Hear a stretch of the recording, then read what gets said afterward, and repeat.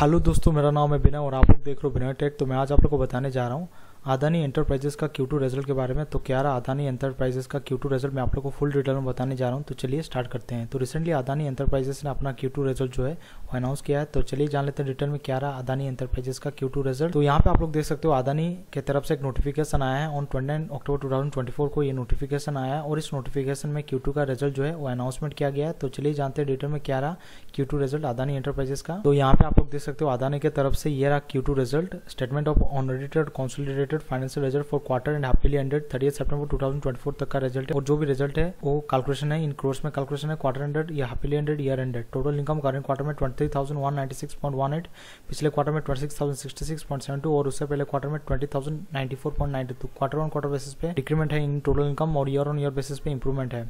Expenses कितना company खर्चा कर रहा है? करंट क्वार्टर में twenty thousand seven hundred eighty seven point two nine पिछले क्वार्टर में twenty three thousand eight hundred thirty one point one six और उससे पहले क्वार्टर में nineteen thousand two hundred fifteen point eight two तो quarter quarter basis पे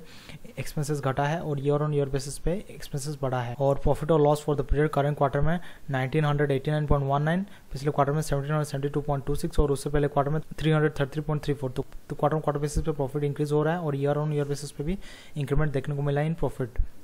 total comprehensive income current quarter में nineteen thirty six point one five पिछले quarter में sixteen twelve point five eight और उससे पहले क्वार्टर में six hundred seven point three six तो क्वार्टर ऑन क्वार्टर बेसिस पे